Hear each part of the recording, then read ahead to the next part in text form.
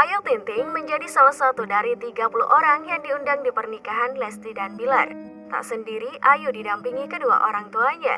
Di momen tersebut, Ayah Rosak juga membuktikan putrinya tak pantas disebut meniru gaya Nagita Slavina. Entah diundang atau tidak, Raffi dan Nagita tampak tak hadir dalam pernikahan Lesti dan Bilar. Pernikahan tersebut dilangsungkan pada Kamis 19 Agustus 2021.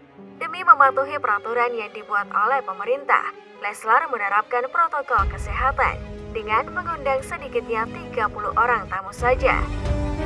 Dan penyanyi dangdut top Indonesia Ayu Tinting menjadi salah satu tamu undangan spesial tersebut. Ayu tampak didampingi kedua orang tuanya.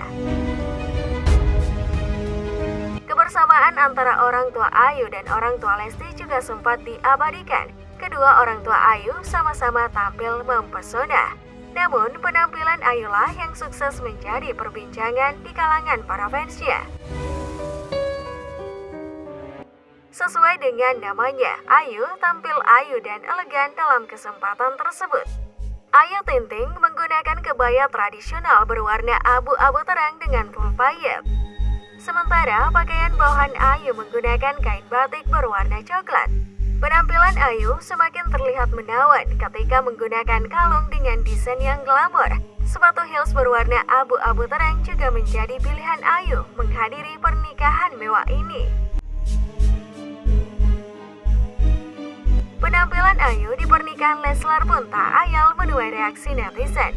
Tak sedikit yang mengaku terpesona dengan kecantikan sang biduan netizen lantas ramai-ramai memberikan pujian pada Ayu. Bahkan seseorang menyentil ucapan Ayah Rosak beberapa waktu lalu. Ayu memang memiliki badan yang bagus. Dan komentar tersebut dibalas warganet lainnya. Warganet meminta agar tak usah membahas fisik seseorang. Takutnya seseorang tersebut kepanasan.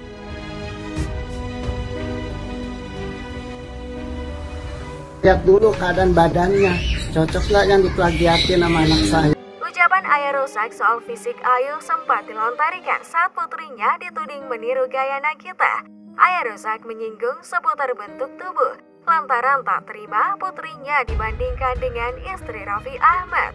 Gara-gara tanggapan tersebut, Ayah Rosak langsung dituduh melakukan body shaming. Ayu dan Nagita memang sering dibandingkan. Ayu sering kali dituding plagiat gaya berpakaian Nagita. Namun pelantun sang balado itu tak ingin ambil pusing.